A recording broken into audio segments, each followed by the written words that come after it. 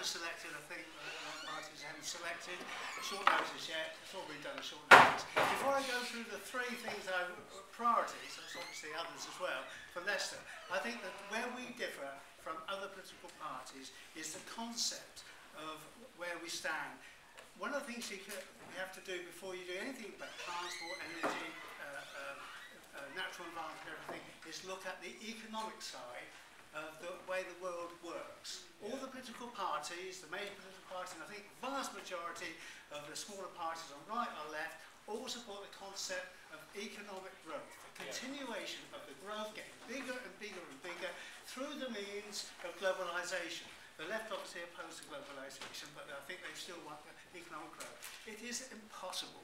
We have uh, economic growth at 3%, means you double the economy in 25 years. You increase it by fourfold in 50 years, 16-fold in 100 years. My little great, great nephew will live long enough for his children to be alive in 100 years' time. It is impossible. Until we actually challenge this, at least in the Western world, uh, we probably would have to low economic growth in the poorer world, but we must stop economic growth. We need to look for a new economic model. That's probably beyond the realms of the mayor, mayor, elected mayor.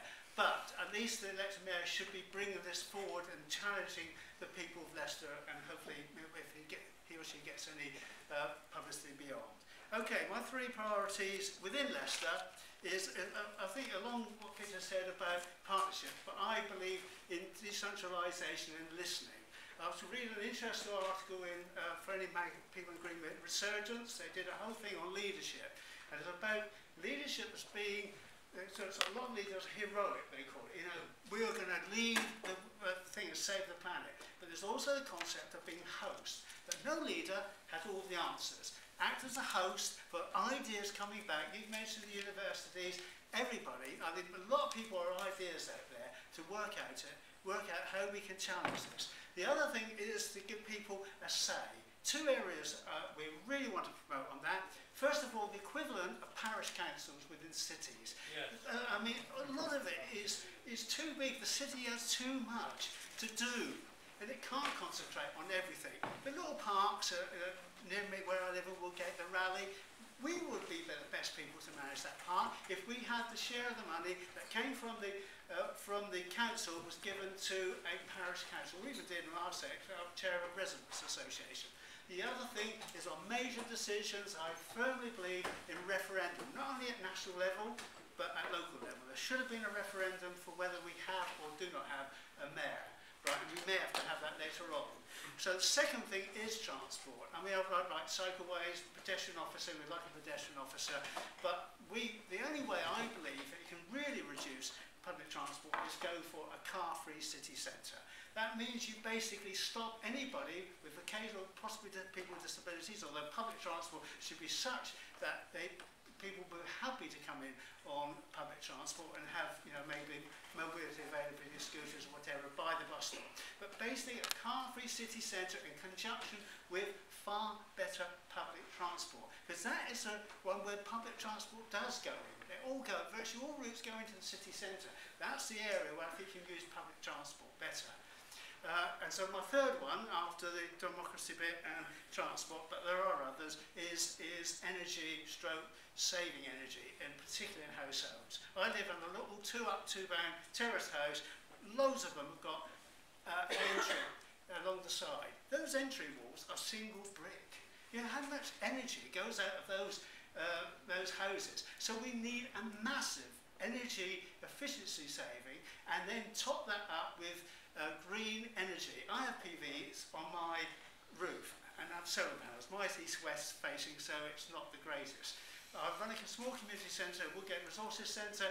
We're the first of the five environmental city building awards. We have PVs on our roofs, we have solar panels on roof, preheated water, and we had water recycling uh, to flush the toilets. 80% of the to toilet use last year was from grey water. This can be done. It needs dynamic, uh, dynamism from the leaders, but it needs uh, support from the rest of the uh, Leicester as well. So it's a balance between hopefully inspired leadership, but listening to the people and bringing the people with me, with, with it, whoever the leader is. Thank you, Geoff.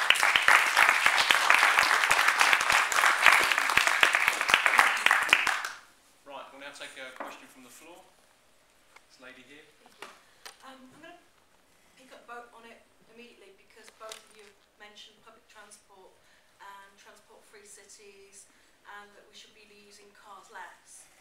Now, we use the car, my partner has a disability, we have a blue badge. We also have bus passes that we can use to get into town and out of town. We very rarely use them. I have a push chair as well.